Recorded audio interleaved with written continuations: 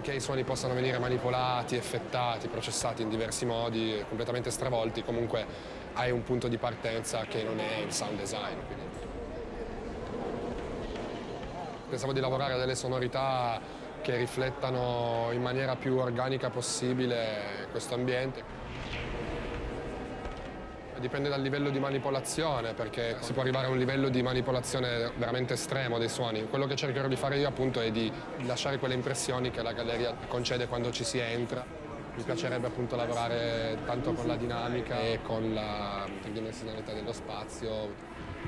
Non abito più a Torino da due anni circa e vivo a Monaco di Baviera. Sicuramente il landscape sonoro è abbastanza diverso, ad esempio il suono delle sirene, della polizia, dell'ambulanza, i suoni della metropolitana o del tram, mi è sempre piaciuto il suono generato dalle macchine, se si può dire.